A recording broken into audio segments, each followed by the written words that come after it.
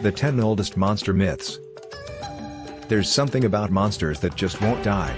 No matter how many times they're debunked or disproven, these mythical creatures continue to capture our imaginations.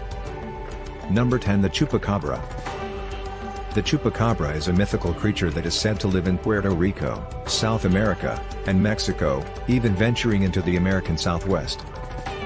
Number 9 The Mokele-mbembe The Mokele-mbembe is a mythical creature that is said to inhabit the Congo Basin in Africa.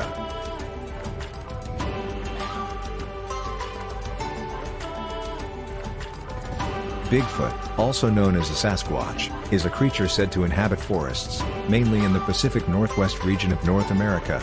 It's usually described as a large, hairy, ape-like creature. 7. The Yeti The Yeti, also known as the Abominable Snowman, is a mythical creature that inhabits the Himalayan region of Nepal and Tibet. 6. The Basilisk The basilisk is a mythical creature with the body of a snake and the head of a rooster. It is said to be able to kill with a single glance. 5. The Kraken The Kraken, the giant sea monster of legend, has been terrorizing sailors since the 12th century.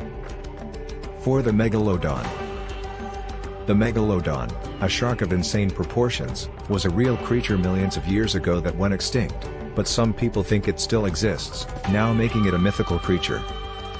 3. The Loch Ness Monster the Loch Ness Monster, also affectionately known as Nessie, is a mysterious creature that is said to inhabit Loch Ness in Scotland. 2. The Manticore The Manticore is a mythical creature with the head of a human and the body of a lion.